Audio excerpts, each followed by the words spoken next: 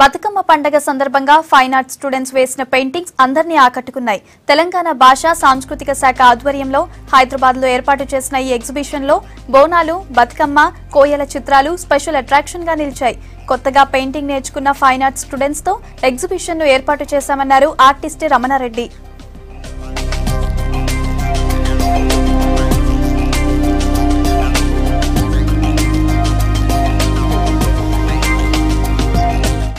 లో నిర్వహిస్తున్నటువంటి ఈ కళా శిబిరం.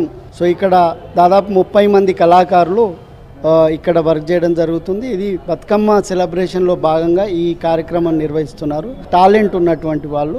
సో ఇక్కడ మామూలుగా మనకి అవకాశాలు కళాకారు యువ కళాకారులు దొరకడం చాలా అరుదైనటువంటిది. కానీ ప్రత్యేకంగా ఈ కళా శిబిరాన్ని బతుకమ్మ సందర్భంగా ముఖ్యంగా యువకులకి కేటాయించాలనే ఉద్దేశంతో యువ కళాకారుల్ని మంచి నైపుణ్యత ఉన్న వాళ్ళని ఎన్నుకోవడం జరిగింది. అండ్ మా కాలేజ్ నుంచి మాకు ఆఫర్ వచ్చింది మాట ఇలా బతుకమ్మ సందర్భంగా ఏమన్నా చేయమని related to Telangana. So college మొత్తంలో ట్వంటీ టూ మెంబర్స్ సెలెక్ట్ అయ్యాము. దాంట్లో ఈచ్ పర్సన్ ఒక్కొక్క డిఫరెంట్ టాపిక్ సెలెక్ట్ చేసుకోవడం జరిగింది. జస్ట్ ఒక ఎక్స్పెరిమెంట్ మాట. ఇన్నిసార్లు కమర్షియల్గా కాంపిటీషన్స్లో పార్టిసిపేట్ చేశాము. సో ఈసారి మాకు కాంపిటీషన్ లాగా కాకుండా they gave us lot of freedom మాకు నచ్చింది మేము చేయొచ్చు.